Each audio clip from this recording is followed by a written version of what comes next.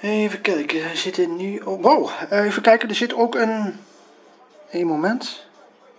Een 2, bijna 33k zit ertussen en... Dat is een 32k. En dan hebben we van... Wow! Dit hebben we nog nooit meegemaakt. Uh, een rond getal.